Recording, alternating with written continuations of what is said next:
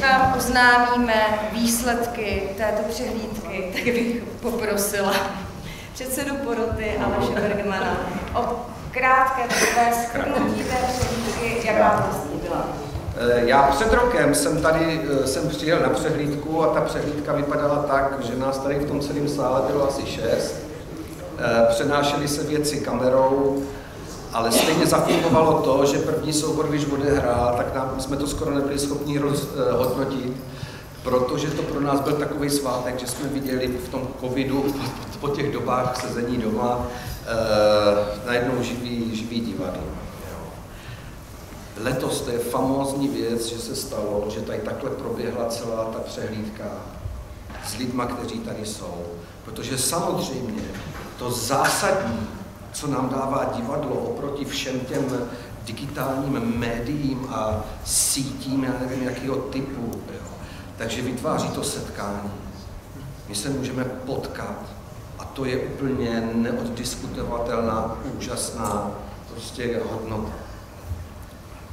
Děcka někdy dělají, víte, eh, když přijdou malí děti do, do divadla, tak se baví mezi sebou i v průběhu představení, protože mají pocit, že tak jako televize, že to vlastně teče i bez toho, jako, jako nezávisle na nich, že to jde. Jo? To je špatný, že jo, samozřejmě. To je prostě špatný, když něco takového vzniká.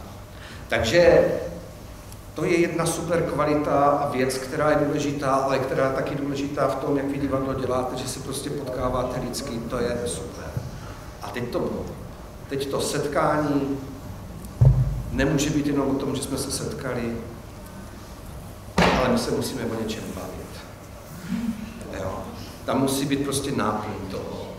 A ta náplň je tady pro nás to divadlo a proto jsme se ten týden bavili o různých hodnotách, kvalitách, těch divadelních představení.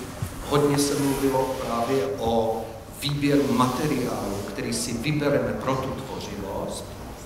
Jo? A měli jsme tady jak představení toho, dalo by se říct, klasického činoherního typu, kde se vychází od napsaného textu.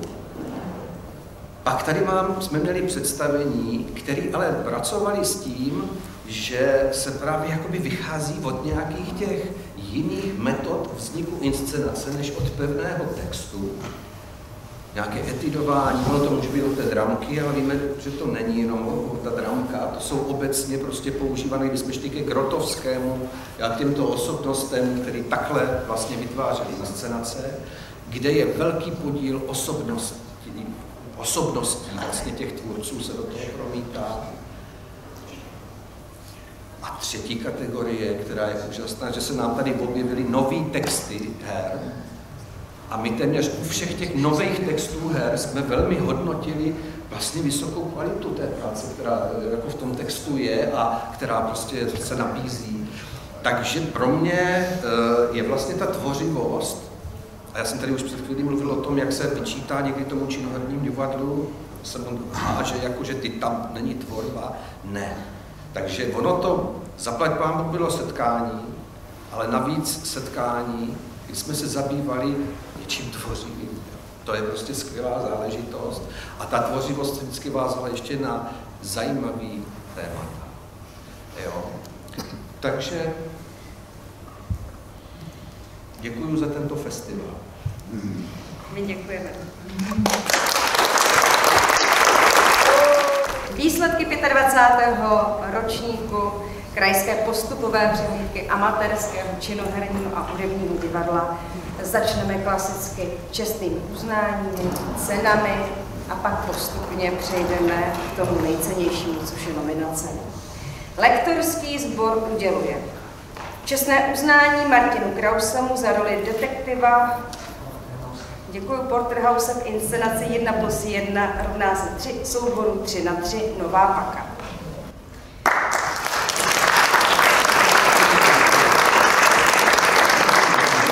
Čestné uznání Petru Vanžurovi za námět inscenace Závadný obsah divadla Neklid Trutnov.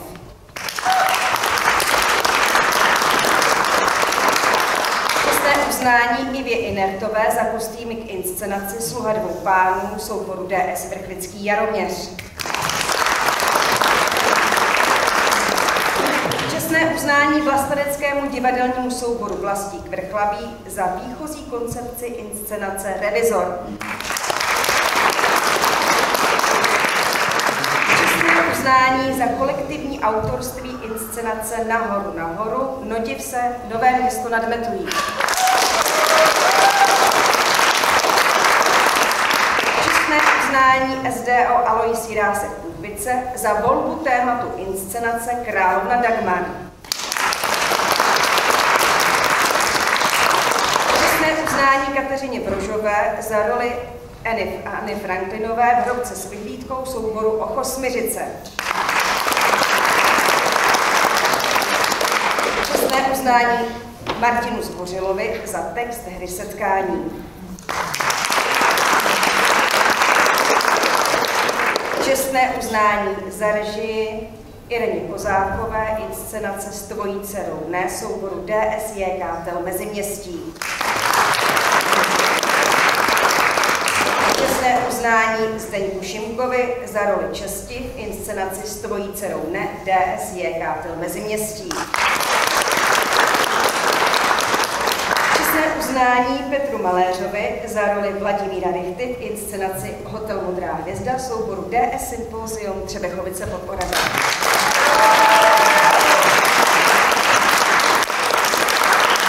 A čestné uznání souboru Triarius Česká Třebová za inscenaci Absolvent. Přicházíme k cenám. Odborná porota uděluje tyto ceny. Cenu Aleně Tomášové za roli Julie v inscenaci Záblesk.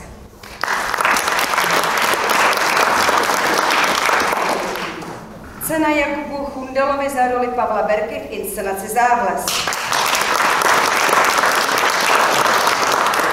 Cena Janu Markovi za roli Ernesta v inscenaci Záblesk.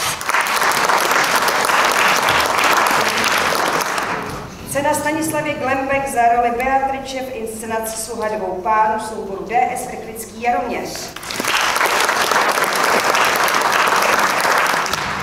Cena souboru Triarius Česká Třebová za herectví v inscenaci Absolvent. Cena Josefu Janu Kopeckému za režii inscenace Absolvent. Cena Aleši Kučerovi za roli Luboše v inscenaci s tvojí dcerou ne souboru DS je Kátel Meziměstí. Cena Anešce Harušťákové za roli Sandry v inscenaci s tvojí dcerou ne DS je Kátel Meziměstí. Cena Romanu Krejčířovi za text hry Páni vesmíru a net koupím duši.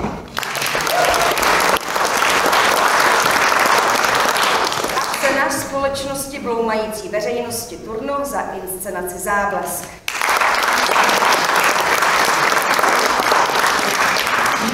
Ještě vás budeme trochu napínat, protože rektorský sbor eh, se rozhodl udělit speciální doporučení, které nesouvisí s divadelním piknikem v Volině. A doporučuje na dětskou scénu Svitavy jako inspirativní představení inscenaci Nahoru nahoru souboru Div se místo.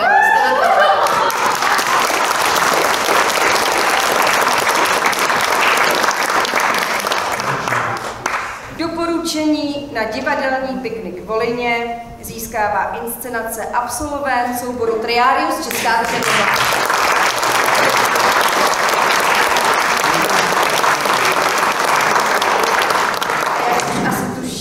z náznaků individuálních ocenění, tak nominace se z letošní přehlídky odváží společnost bloumající veřejnosti s inscenací Záblesk.